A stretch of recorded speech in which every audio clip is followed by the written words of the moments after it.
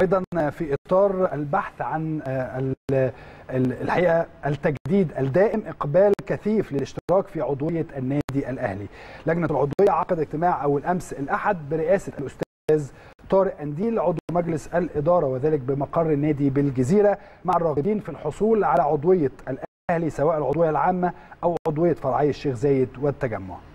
استقبل طارق انديل الراغبين في الحصول على عضويه الأهلي وذلك وسط الإجراءات الاحترازية المتخذة دائما داخل النادي الأهلي في ضوء الإقبال الكبير للحصول على العضوية التي تزامنت مع الطفرة الإنشائية الكبرى التي يشهدها الأهلي في كافة فروعه والخدمات التي يقدمها النادي لاعضائه.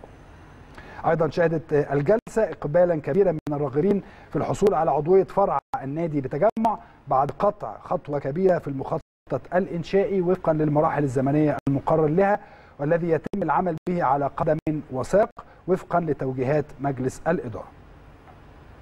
فرع التجمع بيحتوي على ملعب لكرة الطائرة وملعب كرة سلة وكرة يد وملاعب خماسي نجيل صناعي وملاعب تنس وجميع عناصر تشطيب معتمدة من المعتمده من الاتحاد الدولي لكل لعبة وتم مراعاة أن تكون الملاعب في منطقة واحدة مع وجود غرف ملابس رجال وسيدات لجميع الفرق وقريبا من الملعب.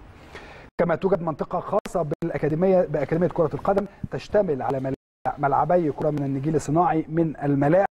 الكبيرة وغرف الملابس للاعبين والمدربين. الحقيقة طفرة إنشائية كبيرة جدا في كل فروع وكل مقرات النادي الأهلي زي ما حضراتكم شايفين إقبال كثيف ولجنة العضوية برئاسة الأستاذ طارق أنديل عقدت اجتماع للنظر في العضويات المقدمة للنادي